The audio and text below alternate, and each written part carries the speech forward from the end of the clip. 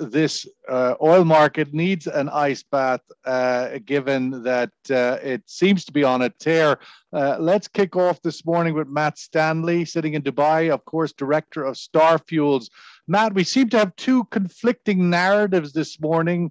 Uh, one is China's slowdown seems to be betting more, more becoming more overt, more, uh, more data backing it up, and at the same token, massive inventory draw in the U.S. pushing markets higher. Your thoughts on this uh, sort of battle of these two forces?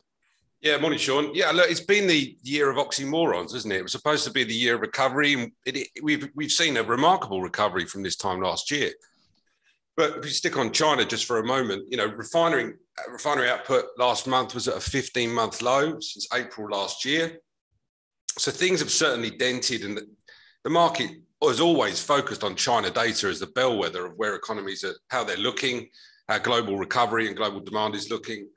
But if you look at the wood for the trees, it's still 8% higher than it was this time last year. So everything has got to be put into context. And we're getting to the point now in the recovery cycle where you can look at pandemic charts on how we how we were compared to this time last year it's a sad state of affairs. I don't think anyone thought that we would be in this position that we are in.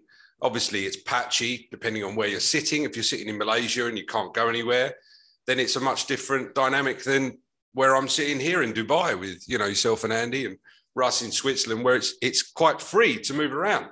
But uh, yeah, it's the year of oxymorons and the year of um, the recovery looking ever more fractured. Well, I suppose one benefit is, is maybe not the year of the morons, but the year of the oxymorons. We're all uh, here. We're all here. They're all in this virtual room together. Uh, Andy Laven, Chief Operating Officer at Sahara Energy Resources. Should the market really be surprised of a big draw in US inventories this week after what happened with Ida the last few weeks, knocking out such massive production. I mean, it seems to be news should be something that surprises. This doesn't feel like a surprise.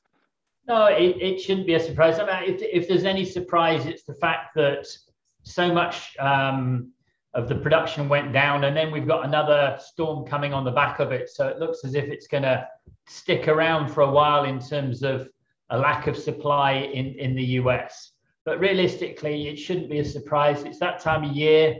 Um, I, I, personally don't buy into the idea that you were talking about yesterday around whether it's going to get worse and worse and worse. I think the reality is weather goes through cycles anyway, and technology will get stronger and stronger faster, I believe, than than the weather gets worse. So I think it's just it's just one of those years. Rustin Edwards, head of fuel oil procurement at Euronav. Uh, welcome back, Rustin. It, it, seems in some ways we've moved from demand sensitive, i.e., China weakness, uh, to supply concerns and, and the drawdown in inventories. And what seemed like a, a, an oversupplied market suddenly feels like, oh, actually, supply is looking a little thin, a little tight. Well, I mean, back to the you know U.S. Gulf Coast where the major supply disruptions are sitting. Yes, there's there's currently around 780,000 barrels per day of production that's offline. It's about 39% of the U.S. Gulf Coast offshore production, but that's coupled with about 820,000 barrels a day of refining capacity that's offline. So net net from a macro supply perspective, you've got you know more production, more refining production offline than you have from crude production offline. Therefore, you could see crude stocks not draw as hard as the API shows, but dis- the product stocks could still draw. Um, but net net from a macro level, it's a balanced market in that regards. Um, Hurricane Nicholas went ashore, did really nothing. It rained hard in Houston, rained hard in uh, it's raining hard in Louisiana, north in Baton Rouge. Um, no shut-ins happened because of Nicholas. No refineries shut down because of Nicholas. Everybody kept their plants running, maybe at a lower rate, but for the most part, uh, refining sector looks like it's okay.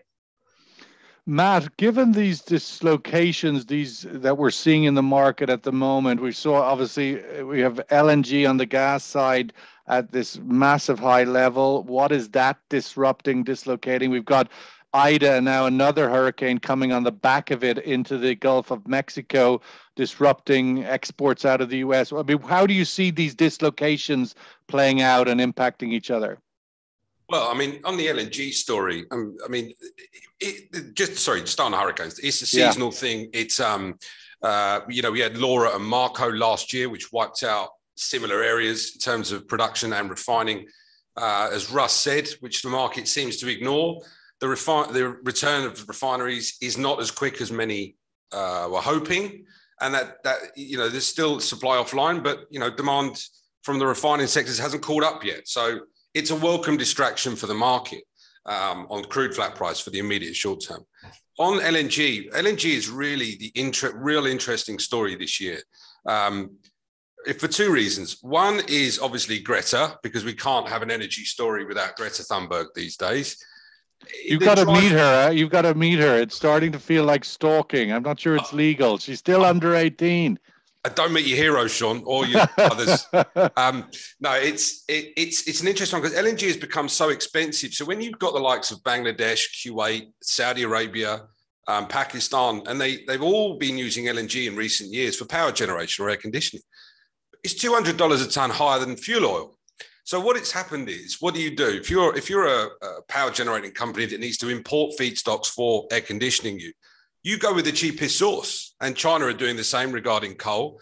So it's it's played a real a real hand in the fuel oil market because demand for high sulfur fuel oil has really gone through the roof, um, and it's heavily backwardated. And you know I've been exceptionally busy, um, but it's also the the long-term argument regarding carbon emissions. You know, it, it is if LNG is such a fragile feedstock because it's so expensive at the moment, what is the alternative? And the alternative at the moment is is higher carbon producing uh, feedstocks and um, and what, what they burn in those in those units. So LNG is really one that the market is going to watch uh, closer than anything else because it's affecting other parts of the oil barrel. So it's it's it's an interesting dynamic that we're in. Andy, your thoughts on that dynamic, given this sort of China slowdown? We're seeing China uh, data overnight that the throughput in uh, Chinese refineries the lowest in, since May 2020. Uh, a significant shift uh, down for them. Where that goes versus the sort of supply tightness we're seeing in in in the U.S. and elsewhere. So, so I personally don't think China is something we should be worrying about. China hmm. plays the long game. They're not ones to kind of whipsaw, like, for example, you can see happening in the shale. They are looking at where they're going in 10, 20 years' time, and, and it's the long haul that they're in. So, to me, all the short term perturbations that you see coming out of China in terms of when they release from their SPR or they do this or they do that, everything's all about the long term. And I think actually that gives the, the global economy quite a good solid base. And I do think we've, to come back on what Matt said, I think we've possibly overused China as being something that is really something we should be watching. Yeah, but it, it, it is it is the key and has been and coming into the winter it is the sort of key uh, source of um, you know uh, incremental demand growth. And, and if it's 5% gdp on the year or 10 that's a huge difference. Yeah so, so short term what they do has an impact but i think we need to be wary of saying therefore actually china's in a basket case and yes. to fall off the cliff. Right. they will do things in the short term that suit them but it's all in the the search of getting it right in the long term. So yeah short term there are always going to be changes that will probably surprise us because they're not running their economy the way the rest of the world runs it. Yeah, well, there certainly seem to be, as we've heard from our Chinese commentators, uh, willing to compromise uh, short term economic growth for structural shift for long term direction. And that seems to be the window that we're in at the moment. The, the uh, somebody said to me not so long ago, we all have to get ready for China growing at three percent just like any other mature economy uh, outside of this extraordinary window uh, of COVID. But the two to three percent growth for mature economy, China is on its way there, uh, and everything has to build around that. The, the, the other thing I wanted just to get some views on, on Rustin is, is the Baltic index, which does appear to be on the move. Uh, up at uh, four two two one, up nearly one and a half percent today. What does the Baltic Dry Index tell us as it reaches these heights? That uh, inflation is not going to be transitory. Yeah, thank you, thank you. As we um, see uh, reports out of the UK overnight, you know, three and a half percent inflation rate. Yeah, four and a half percent in the United, or five and a half percent in the United States, or five point four in the United States. Oh, I get my numbers in the right order. Yeah. Um, but um, nevertheless, it just shows that container rates are going to continue to remain strong. Uh, but I think that they're probably hitting the top end of the curve. Uh, you've had this meteoric rise. It's moved up to a point. You now have major shipping companies announcing that they're not going to increase rates further. They're going to try to put a cap on it because they're making so much money. They have no idea what to do with all the cash once they get it. Um, you know, you can only build so many new ships, and you can only do uh, so much other improvements around your old ships. So um, I think they're also trying to. I, have heard them. reports of I've heard reports of uh, dry bulk ships being converted in for taking containers because the opportunity of the price of containers now uh, at, at four or five times X. They can basically double their rate haul on the ship by putting containers on board. Now, wow. dry bulk can put containers inside the hold of the dry bulk ship because most of these ships are designed sometimes to carry containers. Uh, Golden Ocean got, has gotten class approval for some of their larger ships to do this, and you know they can put um, you know seven thousand boxes on, and away they go, and they can make uh, three times their uh, charter hire on the voyage. So they're more than happy to do it. And that's kind of how you can tell that we're coming to the end of the container freight bubble is that you have, you know, markets are efficient. People are figuring out other ways to move boxes outside of just a normal container ship, which is just going to spread that out and it's actually going to start capping the market. So I think we're probably at the high end, we're probably at the top, and it's probably going to start uh, easing down, but it's still going to be elevated in relation to calendar 2020 prices going into 2022 and probably into Q2 is when it starts to flatten out again. Russ, can I just ask a question, Sean? Sorry, just Please, on yeah. that because that's a real it's a real um, talking point. The issue doesn't seem to be the ships themselves, though, isn't it? The issue regarding say crew change, um, bottlenecks that the discharge and load port. It's all it's all port bottleneck at this point. point, and what drives the uh, freight demand is you get people uh, who try to jump the queue. You know, a bunch of boxes waiting to get on a boat. Somebody really wants to move their container, they pay up to get their container to the front of the queue. And yeah. so shipping companies are happy to take that increased rate. But again, those goods shipped in that container now have a higher inlaid cost because the freight is four or five times what they normally would be paying under a contract rate. Sounds like what I try to do at all airports pay for that extra golden pass queue on security so I don't have to take my shoes off. Um, looking at the price, Matt, I'm not quite sure at the moment if you're a bear or a bull. I'm a bear. You've always been. Uh, where are you at at the moment? I, I, I, think the world needs to know. We're seeing oil prices, Brent, up ten dollars uh, in in the last month since August twentieth. Uh, uh, and on that upward trajectory, we have our resident bear Omar or bull Omar Najia saying, you know, hold on to your shorts. We're going up to 80 and above. Where am I at the moment? If I yeah. had a pound for every time I ask, ask myself that question, Sean, I'd be a millionaire, mate. Don't worry. Well, give me an argument as to why you could still be a bear in this market. Um, I, I don't. The demand forecast can has been kicked down the road since January, right? Mm-hmm. Second half was supposed to be the return with a vengeance of mm-hmm. driving jet fuel. Yeah, yeah. Now, the jet fuel rhetoric is an interesting one because, okay, in the grand scheme of things, the jet pool isn't that big um, it's about 10% of oil demand, still 10 million barrels a day. And we're only about 6 million barrels a day back. So that's still 4% down. That's in the short term. I think the one thing that the market needs to consider right now, we're in a supply deficit right now, right? More oil is coming back, and there will be a hell of a lot more oil come May 2022. I think that that is, if demand does not come back in terms of international travel, then we're going to be in a supply deficit. And a majority of economists, including Ed at Emirates NBD, he sees that as an issue that is waiting to be addressed. Is the second half next year when demand hasn't caught up and there's a lot more oil back. Iran is a separate discussion. I don't see that happening anytime soon. And even if they come to an agreement, it won't be until Q3 next year that we'll see more oil back from them.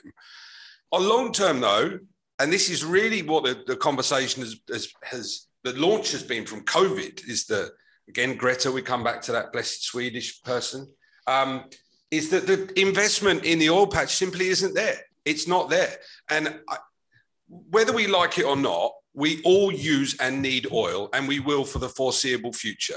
Electricity, electric cars have taken away around about 50,000 barrels a day of oil consumption, which is nothing, nothing. And about $10 trillion in stock market valuations. Well, yeah, all, all, all based off Twitter. Amazing, yeah, really. Yeah. Um, so, yeah, look, short term, I think the market will be support, supported through Q4. I know Mike was exceptionally bullish on Sunday regarding China, that he sees all that being pulled out. I don't know where the SPR sale fits in with that argument. That so that will be interesting to how. Well, he's a big believer out. in replenishing there. But Andy, is it the surprise of the year really that we're going into the fourth quarter and it's a story about supply tightness and not demand resurgence? I mean, Sarah Akbar earlier in the week as well, sort of screaming sirens about this is a lot tighter. Don't think that OPEC Plus has a lot of idle barrels it can bring back in short order.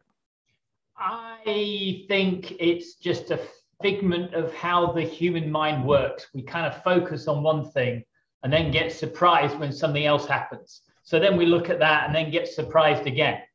I think um, I was listening to what Matt and you were talking about. And for me, I kind of go back to, gosh, several years ago. Ali Naimi said that the, the best thing for OPEC is to have very low prices because then nobody else is going to produce the oil. Well, realistically, if you look out over the next five, 10 years, global warming, Greta Thunberg, et cetera, et cetera, is playing into exactly that game from a very different perspective. Everybody in the developing world is going to start moving investment elsewhere, and the OPEC producers will not. So, so we are going to we're entering a very, very different beast in terms of the dynamics of supply and demand in terms of where the supply comes from and the demand is. And we are not going to move away from requiring oil as quickly, I don't believe, as the major international oil companies will move away from oil investment. So we are going to see some supply shortages, and I think we'll see it quicker rather than later. The the, there's certain, well, we saw last month uh, OPEC plus not even being able to meet their own fairly measly 400,000 barrel a day increase. So even within OPEC plus, there seems to be a, an inability to, to reach the quotas that they've set for themselves. Uh, let, just moving to the consumer price index that came out yesterday, uh, Rustin, I'm sort of curious as to your views. The, the, the US economy appears to be the heat at least is coming out of it. Are we seeing that reflected in any way on the the sort of infamous China to West Coast America shipping routes, the prices of that whole sort of backlog and bottleneck there, or does it look still red hot? It still looks hot. Um, I mean, yeah, the CPI was expected to be at 5.5. It came in at 5.4, and people were cheering. Oh, it's not as hot as analysts expected. Right. You know, point one is still you know, it's not mean, meaningful in my mind because price of food is up. I mean, if you look at the yeah. price of beef in the United States, beef is usually the cheapest meat you can have. It's up 18, 19% Q on Q. Uh, price of chicken, price of pork, all up. Um, so you know, your food cost is all going to increase. Why is that happening? Because, oh, the price of LNG is so expensive, which is increasing on the price of grain, which is used to feed these animals. Um, so the transitory nature nature of the inflation is not there. It is more getting in further and further embedded into the day-to-day goods and services that people need to buy and to survive and to keep moving. Um, you wonder you wonder if the narrative is such, you know, we're a week out from the next, not even a week to the next Fed meeting. You know, certain, huh? 21st, 22nd. Yeah, and, and, it looks nearly like the, you know you can spin these numbers, which are still very big. 5.3 percent, uh, you know, is, is a big number on the CPI, but less than expected. It sort of sets the Fed up to be able to sort of do another pass. Well, it, it might, but you still have a tremendous amount of slack on the employment side. I mean, so you still have a lot of people who are looking to come back to work, and I'm reading more and more articles of companies increasing wages to get people back. I mean, so you've got uh, Sam's Club, which is the Walmart big box distributor um, um, in the United States, that they're going to increase wages by 15, 20% to get people back into the stores or uh, employees back in the stores, not the people shopping, but cash registers, restock boys, whatever. Amazon's moving their dollar hourly rate from 15 uh, to $18 an hour.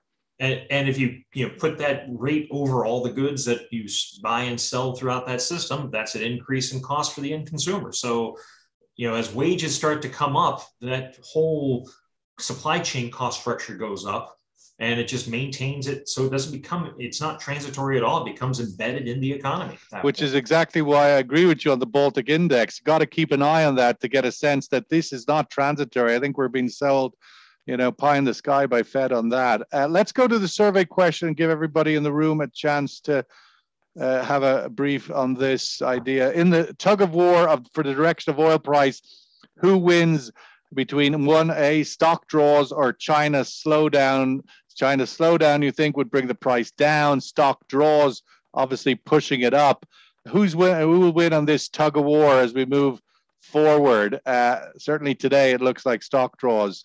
Um, well, you got to remember the, the price increase that we've seen here is all due to supply disruption. Mexico, Ida, you know, perceived from Nicholas, which is now gone, Libyan strikes, there, there, there, there is clearly, and the one never gets obviously the the OPEC plus uh, uh, that is still, I think, struggling to meet these quotas.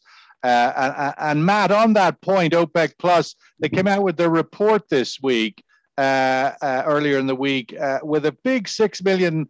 held, hold on to six million for 21, and, and a big number four, over four million demand recovery again next year. Your thoughts on those numbers out of OPEC plus? Well, it's not safe for radio, but um, it's. It, I'd like to know where they get those numbers from. Um, look, I said in my commentary yesterday, they can't downplay the very thing that they are there to protect. Uh, they have to be bullish. It's within their nature, as does any oil trader. The, momentum this year on oil prices, well, since the end of October, has been extraordinary. We've only been on an upward path. We've seen the occasional bump and hiccup, but that's to be expected in in you know nature of markets.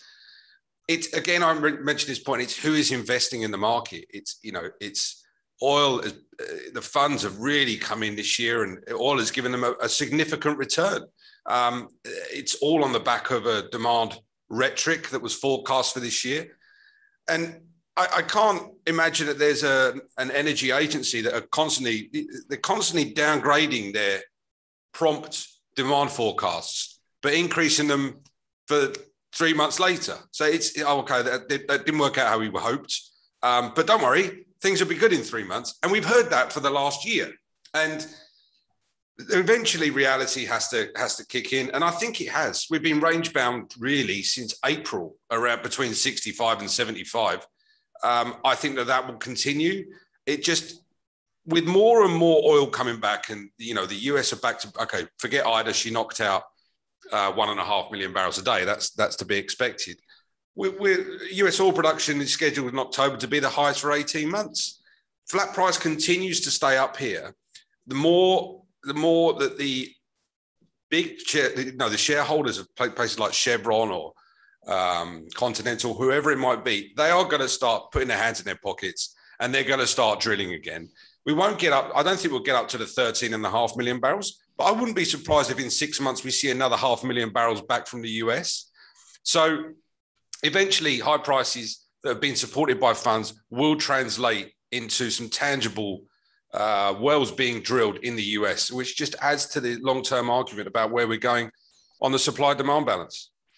We've got uh, Brent trading a little over 74. We're essentially uh, the, the high uh, that got came in in July uh, 76, 72, Andy. Are we going to get back there? We would also acknowledge, just from the point of view of that longer term demand recovery, you know, Korea now also reporting record employment. The unemployment rate in uh, Korea has fallen to its lowest on record, lowest, not this year, on record. Uh, South Korea, one of the biggest economies in the world.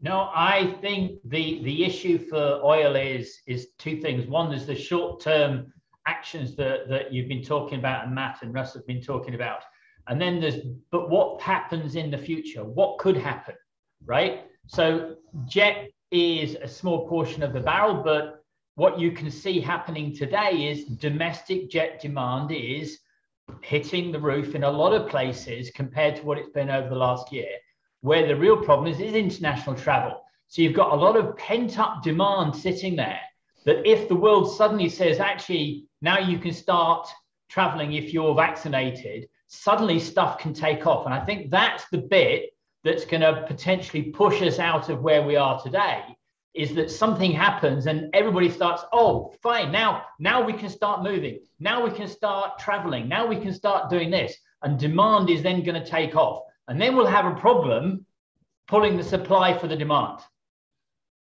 Andy, just on that, sorry, just sorry, yep. Sean.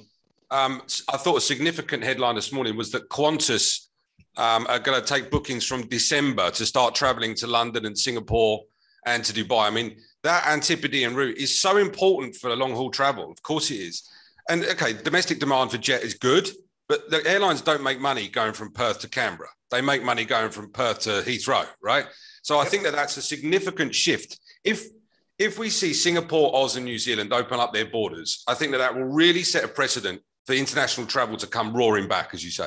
Well, yeah, it does. My, my only point against that argument is the fact that you've got that. Australians shouldn't be allowed to travel anytime. I mean, that's like well, given, let's right? not get into that one. Um, Once we've agreed on that, go. Um, it's the fact that uh, you know if you look at companies putting out their ESG requirements. I mean, just recently here in Switzerland, Zurich Bank said they're going to cut business travel by 77 percent. And that's a theme that's being put into a lot of companies right now because they're all looking at their ESG requirements, they're all looking at their emissions footprints, and they're also looking at the associated risk of having a someone on a business trip coming down with COVID, getting hospitalized and potentially dying. And all that is an inherent risk to a company putting employees on a plane going on a voyage somewhere. So I think you know it's great that these announcements happen and things happen, but how much of the real the real money that airlines make comes from the business traveler. How many companies are going to let their employees hop on a plane, fly to Singapore for a week, to do business trips when everybody's been doing the face to face over Skype and over uh, uh, Zoom for the last year and a half. I mean, I think it's really that change in dynamic on the business traveler is something people are not taking into consideration. You look at the US numbers right now, they're averaging about 500,000 less passengers per day than in 2019. And that's with the roaring domestic demand in the United States. Yeah, it seems people are more than happy to go to spend uh, a, a, football match with 60,000 people in London or in, uh, as I was watching last night, in uh, Bern in, in uh, Switzerland, where Manchester United lost 2 1. It was terrible. But at least Ronaldo's scoring goals. That's always fun. Uh, but it does seem that uh, that long haul piece is questionable. Uh, and we're, we'll be very interested to see how it plays out in the coming weeks here in Dubai. Of course, big business conference destination and tourist destination. And most of that is long haul. I think the big data point to watch going forward is vaccine rates in Asia where they go, I think the oil price goes in the coming period, uh, uh, and uh, maybe everything else for that matter. But vaccine rates in Vietnam and Philippines, of course, in China and India, massive, uh, massive to their recovery. Um, but that's a wrap. Let's just get the survey result. I don't think we got it in yet. Stock draws. Who wins? Stock draws. Trump China slowdown. Uh, I, I think I probably agree with that. China slowdown feels like a narrative that's already bedded into the oil price, whereas stock draws is uh, something that is happening every week. Uh, much of you will be delighted to hear that next week we will have a guest host. I will not be in the chair. Uh, some of us have to celebrate 20th anniversaries. It's just a requirement. You've got to do it, or they don't. You don't get a 21st one. So uh, that's that's the crack. And uh, stepping into the hot chair, Vandana Hari, founder and CEO of Vanda Insight. So uh, that will be fun. Anyway, tomorrow we'll be back same time, 10:30 UAE time. Thanks, uh, Rustin. Thanks, Matt. Thanks, Andy. See you all soon. Take care. Bye bye. Well, have a good day.